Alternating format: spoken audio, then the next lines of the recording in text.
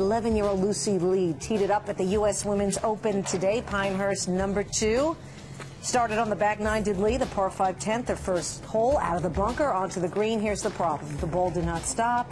It kept rolling and rolling right off the back of the green. Li would settle for double bogey on her first hole of the U.S. Women's Open. Her first nine holes that she played, she had two double bogeys and a bogey.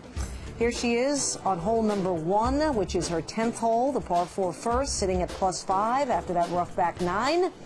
Her approach was beautiful. Nothing rough about that. That shot put Li in position for her first birdie putt, and she would get it. But she finished her first round at the U.S. Women's Open at plus eight, but just 10 strokes behind your leader. Here she is. I'm happy with how I played. I mean, it's eight over. It's not bad, but I was seven over in three holes, so that's one over in 15 holes. So yeah, I just need to get rid of the big numbers. Getting to play in the U.S. Open was a lot of fun. It's such an honor. Number Pinehurst number two is, is such a famed golf course. It's, it was awesome. Yeah, I learned that you know you got to be patient, one shot at a time. To you know try to get rid of the big numbers, and yeah, I learned a lot.